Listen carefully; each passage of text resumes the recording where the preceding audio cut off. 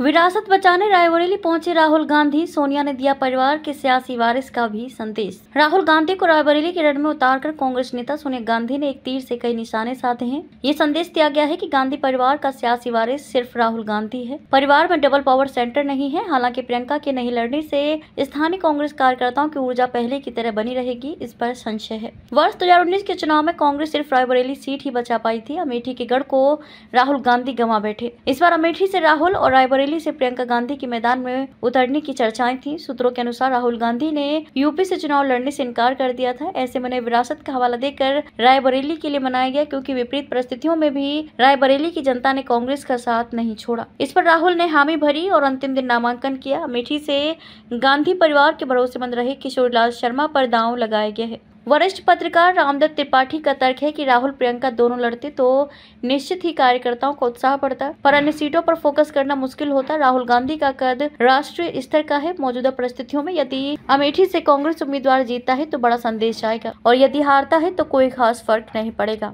आसान नहीं ये रन। बदली परिस्थितियों में अब रायबरेली का चुनाव भी आसान नहीं रह गया है। यहाँ भाजपा ने दिनेश सिंह को फिर से मैदान में उतारा है। वे रायबरेली से पिछले लोकसभा चुनाव में सोनिया गांधी से हार गए थे। भाजपा ने उन्हें पहले एमएलसी, फिर मंत्री स्वतंत्र प्रभार बनाकर उनका कद बढ़ाया। वर्ष दो हज़ार नौ में कांग्रेस को यहाँ बहत्तर दशमलव दो तीन फ़ीसदी वोट मिले थे, जबकि 2019 में पचपन दशमलव आठ शून्य फ़ीसदी। भाजपा 2009 में जहाँ तीन दशमलव आठ दो फ़ीसदी पर थी वह 2014 में इक्कीस दशमलव शून्य पाँच और 2019 में अड़तीस दशमलव तीन छह फ़ीसदी पर पहुँच गई अब ऊँचा हार के विधायक मनोज पांडे भी सपा का साथ छोड़कर भाजपा के साथ हैं, इसलिए कांग्रेस के साथ जाने वाले ब्राह्मण वोटों में सेंध लगनी तय है। प्रियंका चुनाव लड़ती तो क्या होता? इस सवाल पर साकिस डिग्री कॉलेज कॉलेज के प्रोफेसर अनिल सिंह कहते हैं, स्थानीय तौर पर भले ही माना जा रहा है कि राहुल प्रियंका के लड़ने से दोनों सीटें हासिल की जा सकती थी, लेकिन राष्ट्रीय परिप्रेक्ष्य में प्रियंका का ना लड़ना पार्टी के लिए ज़्यादा फ़ायदेमंद है। वे स्टार प्रचारक के रूप में सभी सीटों पर प्रचार कर सकेंगे, यानी नुकसान कम और फ़ायदा ज़्यादा है। दूसरी तरफ़ भाजपा की कांग्रेस को उसको घर में ही घेरने की रणनीति भी विफल हुई है।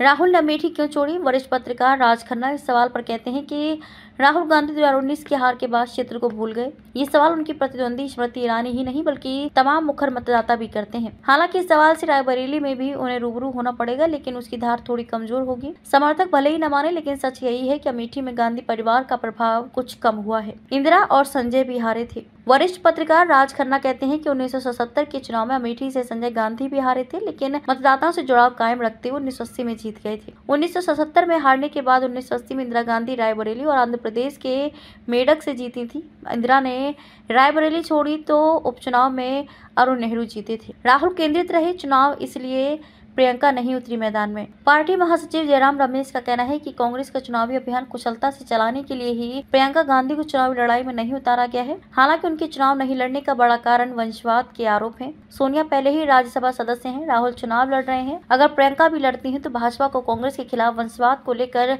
हमले तेज करने का मौका मिल जाता। यही नहीं, कांग्रेस इस चुनाव को राहुल केंद्रित करना चाहती थी, इसलिए परिवार ने तय किया की प्रियंका चुनाव नहीं लड़ेंगी। कहा जा रहा है की दोनों सीटें जीतने पर राहुल रायबरेली छोड़ सकते सकते हैं। इसके बाद उपचुनाव में प्रियंका को उतार कर संसद भेजने की तैयारी है।